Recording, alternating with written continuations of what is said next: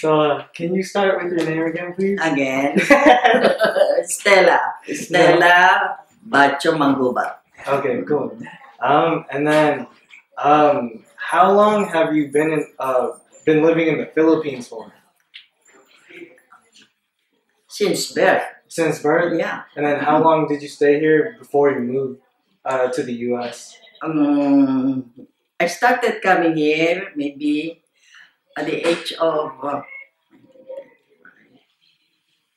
79. 50, 50, around 50 like that. 1950s? But I, uh, no, 1950, at the age of 50, I Oh, started, yeah, coming here Mm, as an immigrant. Mm. And then, every now and then, I go home to the Philippines. But in 1990, when did that? 1995,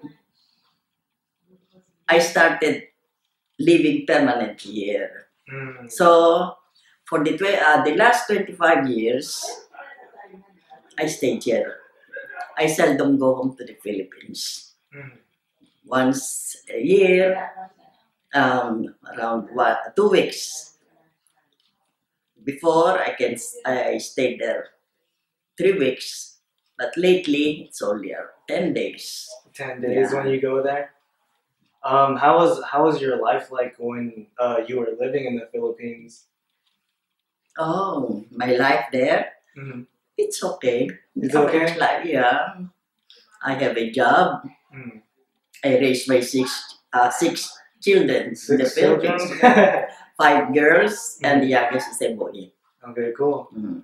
Um, uh, what what made you uh, come out here in the U.S.? Now, huh? Uh, my eldest daughter was, uh, during that time, she was a citizen. Mhm. Then she petitioned me. And So- from then on, I petitioned my children. Cool, cool. Yeah, then- one at a time. Yeah. yeah, uh, well, because yeah, they have to finish first their studies Yeah. there. Yeah. how how's the education in the Philippines?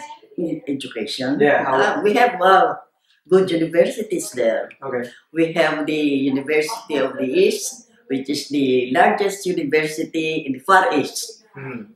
Yeah. Yeah. And then uh, is is that the reason why a lot of people go uh, uh, do nursing in the Philippines rather than they do it here because it's uh, cheaper and it's better, or Uh, cheap, uh, expensive, is it? Yeah, is it is it more expensive in the expensive here? Philippines. Oh yeah, yeah. Is it expensive Yeah. Here or in the Philippines? Um, uh, they all studied, they graduated college in the Philippines.